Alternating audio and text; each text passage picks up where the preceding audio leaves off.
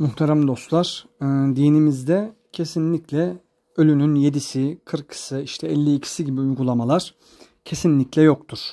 E, ne Peygamber Efendimiz zamanında ne de sahabe efendilerimiz zamanında böyle e, bu tür uygulamalar yapılmıştır. Yapılmamış yani yapılmıştır. Onlar zamanında kesinlikle bu uygulamalar yoktu.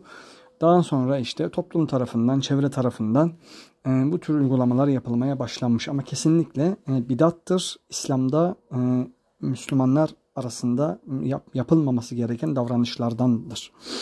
E, gene aynı şekilde e, okumak istiyorsak ölülerimize e, pazartesi veya cuma geceleri yani perşembe akşamları Tebarike suresi, Yasin suresi, Tebarike suresi e, kabir azabını önleyen bir suredir. Bu arada bunu belirteyim.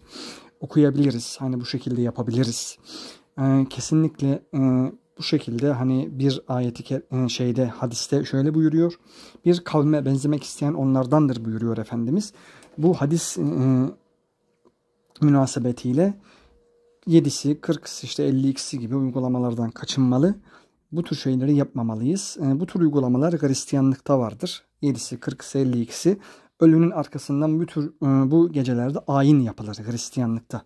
Onlara benzememek için bunları biz yapmamalıyız. Daha farklı hani pazartesileri veya cuma geceleri dediğim gibi veya mübarek gün gecelerde ölülerimize Kur'an-ı Kerim okuyabiliriz. Allah kabul eylesin. Allah bidatlardan korusun.